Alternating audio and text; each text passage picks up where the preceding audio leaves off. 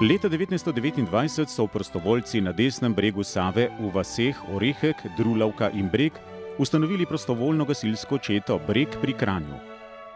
Prostovoljno gasilsko društvo Breg ob Savi sestavljajo ekipe pionirjev, pionirk, mladincev, mladink, članov in članic ter seveda veterani. Najpomembnejše jim je delo z mladimi in temelji na sodobni teoriji in praksi. Delo z mladino običajno predstavlja njihovo seznanitev z gasilskim društvom, opremo, pripravami na tekmovanja in ostalo.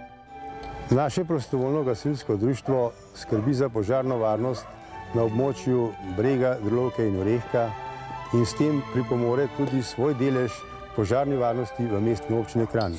Lahko sem ponosen na svoje dekleta in naše operativne člane, ki zauzeto in vestno delujejo v gasilskem društvu in s tem prispevajo svoj delež k požarni varnosti.